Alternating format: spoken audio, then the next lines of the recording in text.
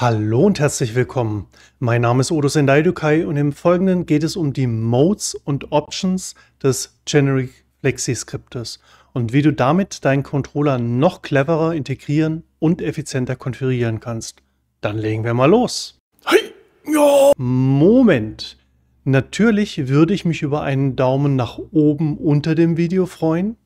Wenn du den Kanal abonnierst, dann ist das der Beginn einer wunderbaren Freundschaft.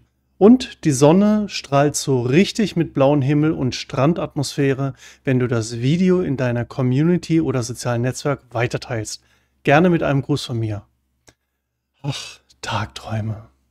Hey, ja, sag, ja, im vorangegangenen Video habe ich das Generic Flexi-Skript vorgestellt und welche großartigen Funktionen alle möglichen Drehreglern, Fadern und Knöpfen zugeordnet werden können. Aber manchmal braucht es noch mehr Flexibilität und da kommt das Konzept von Modes und Options mit ins Spiel. Also mit den normalen Einstellungen kann jedem Knopf und Regler eine Funktion zugeordnet werden, bei einem Controller mit zum Beispiel nur acht Drehreglern sind die Möglichkeiten daher schnell erschöpft und noch enger sieht es aus, wenn gar keine Drehregler vorhanden sind. Mit den Mode und Options ist es möglich, die zum Beispiel acht Drehregler abstrakten Funktionen zuzuordnen, quasi wie eine Zwischenschicht oder Layer oder wie eine Schablone, die über verschiedene Bereiche herumgeschoben und deren Funktionsweise mit den Options auch nochmal verändert werden kann. Klingt vielleicht kompliziert, ist aber ganz einfach. Ich fange einfach mal mit den Modes Schritt für Schritt an. Es gibt im Menü zusammengefasst folgende Einträge. Achtmal Set Value, achtmal Select, Next Previous Item, Next Previous Item Page. Select Track, Volume, Panorama, Device, Start Browser, Browse Presets und achtmal Select Send. Select Next und Previous Mode. Also was hier schnell auffällt, ist, dass es hier vier Item-Definitionen und zwei Mode-Definitionen gibt. Und dass die 8 immer wieder vorkommt, um Werte zu setzen oder etwas direkt auszuwählen. Aber so klar ist noch nicht ganz genau, für was eigentlich. Dennoch ein guter Startpunkt, um die 8 Drehregler jetzt einfach zuzuordnen. In den meisten Fällen nehme ich hier die Funktion SetValue, also einen Wert setzen bzw. verändern. Heißt, wenn ich an dem Drehregler drehe, dann verändere ich irgendeinen Wert. Logisch. Und welcher Wert dieser Drehregler ändert, ändert sich je nachdem, welches Item, Item Page oder Mode ausgewählt wurde. Das ist ganz einfach zu verstehen, als würde ich eine Bewegung mit meiner Hand definieren, womit ich den Zeigefinger immer auf denselben Punkt absenke. Wenn ich ein aufgeschlagenes Buch drunter lege, zeige ich mit demselben Bewegung immer auf ein und dasselbe Wort. Wenn ich das Buch etwas verschiebe, dann zeige ich immer auf ein anderes Wort, obwohl ich den Zeigefinger immer noch auf die exakt selbe Weise senke. Stelle ich einen Pudding drunter, dann tauche ich meinen Zeigefinger mit exakt derselben Bewegung in den Pudding. Also der Drehregler ist quasi mein Zeigefinger und es wird einfach nur eine Bewegung definiert. Alles, was sich ändert, ist eigentlich nur das, was darunter liegt bzw. geschoben wird. Und das, was darunter geschoben wird, sind die Items, die Item Pages der entsprechenden ausgewählten Modes. Und dazu musst du natürlich wissen, welche Modes es gibt. Aber das hatten wir doch schon. Es gibt die Modes Track, Volume, Panorama, Devices, 8x Send und den Browse Mode. Diese Modes können mit Select und dem Namen der Mode entweder direkt ausgewählt werden, wenn dein Controller so viele Knöpfe hat, oder du kannst zwei Knöpfen mit Select Previous und Next Mode, also vorherige und folgende Mode, auswählen. Oder du hast nur einen Knopf und kannst diesen für entweder nur Select Previous Mode oder für nur Select Next Mode benutzen, da nach der letzten Mode wieder mit der ersten Mode angefangen wird. Die Modes drehen sich hier also netterweise im Kreis wie so eine Musicbox-Ballerina. Mit einer Ausnahme, dem Browser-Mode. Gehen wir doch mal die Modes durch. Der Track Mode hat den Fokus, die Tracks zu steuern, beziehungsweise die Parameter des Tracks zu verändern.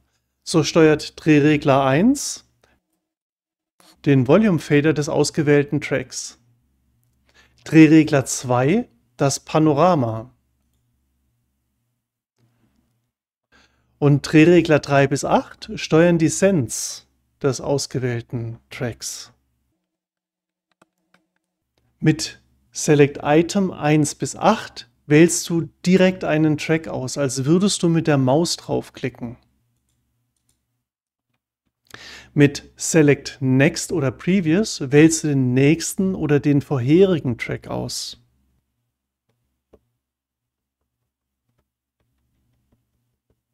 Mit Select Next oder Previous Item Page wählst du die nächsten acht oder die vorherigen acht Tracks aus.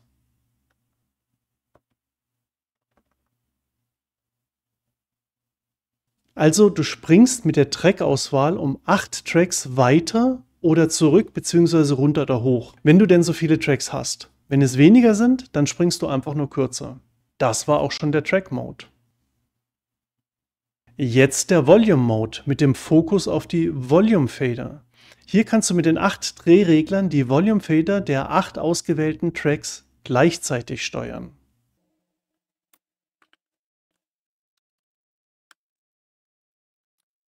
Die restlichen Funktionen sind dieselben wie im Track Mode. Also mit Select Item 1 bis 8 wählst du direkt einen Track aus, als würdest du mit der Maus draufklicken. Mit Select Next oder Previous wählst du den nächsten oder den vorherigen Track aus. Mit Select Next oder Previous Item Page wählst du die nächsten 8 Tracks oder die vorherigen Tracks aus. Also du springst mit der Track-Auswahl um 8 Tracks weiter oder zurück. Jetzt zum Panorama-Mode. Mit den 8 Drehreglern kannst du in den 8 ausgewählten Tracks die jeweiligen Panoramaregler gleichzeitig steuern.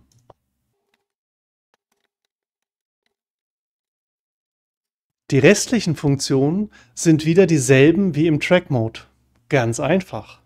Nun der Send Mode. Wieder dasselbe Prinzip. Mit den acht Drehreglern kannst du in den acht aktuell ausgewählten Tracks die jeweilig ausgewählten Sends gleichzeitig steuern. Also wählst du Send 1 mit dem Set-Item oder Next Previous Item aus, kannst du in den acht Tracks die jeweils den Send 1 steuern. Wählst du zum Beispiel Send 5 aus, dann kannst du in allen acht aktuellen Tracks alle Send 5s gleichzeitig steuern. Die restlichen Funktionen sind ganz einfach wieder dieselben wie im Track Mode.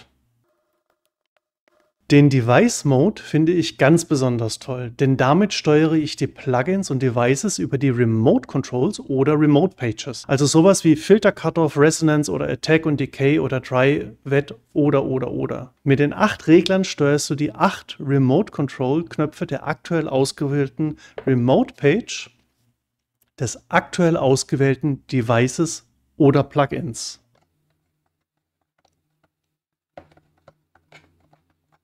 Und mit Next und Previous Item Page wählst du die nächste oder vorherige Remote Page des aktuellen Devices aus. Die drehen sich übrigens nicht im Kreis, da musst du den langen Weg zurück, den du bis hierher gekommen bist. Mit Next und Previous Item wählst du das nächste oder das vorherige Device aus.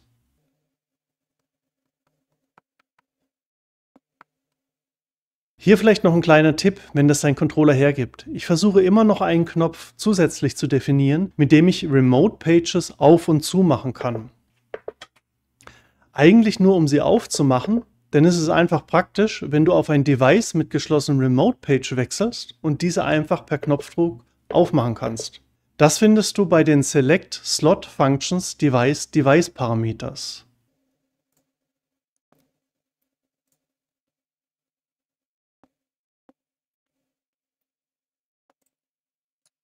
Nun zum Browser-Mode. Im Browser-Mode wählen Drehregler 1 bis 7 den Suchfilter aus und Regler Nummer 8 wechselt zur Ergebnisspalte. Select Item 1 bis 8 wählt direkt die Filter in den Spalten 1 bis 7 und die Ergebnisspalte mit dem achten Drehregler aus. Select Next und Previous Item wählt das nächste oder das vorherige Tab aus. Select Next Item Page bestätigt die aktuelle Auswahl und schließt den Browser wie einen OK-Knopf. Select Previous Item Page verwirft die aktuelle Auswahl und schließt den Browser wie ein Abbrechen-Knopf.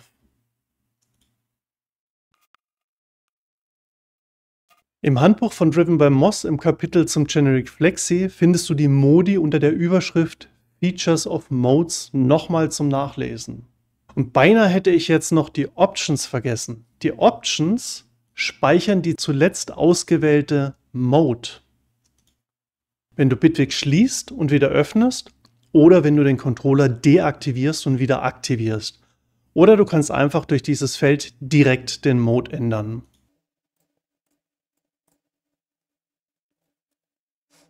Abschließend noch ein paar Tipps. Als Tipp würde ich dir raten, in dich zu gehen und zu überlegen, wie dein Workflow aussieht. Also wie du deinen Controller gerne benutzen würdest. Oder besser gesagt, wie du ihn benutzen wirst. Das kann ein sehr großer Unterschied sein. Vermutlich wirst du trotz diesem genialen und mega flexiblen Generic Flexi Skriptes nicht alles realisieren können, trotz dass wirklich sehr, sehr viel geht. Daher besinne dich auf die Funktion, die du wirklich auch nutzt und dir merken kannst. Hast du keine Drehregler, aber du hättest gerne welche, dann kannst du eventuell dein Modwheel auf einen anderen MIDI-Kanal als Drehregler umfunktionieren. Viele Controller-Keyboards haben eine einfache und schnelle Methode, den MIDI-Kanal zu wechseln. Du ordnest dein Modwheel einfach acht weiteren MIDI-Kanälen zu. Zum Beispiel von 2 bis 9 und ordnest in jedem dieser Einträge das Modwheel einem der acht Item-Set-Values zu.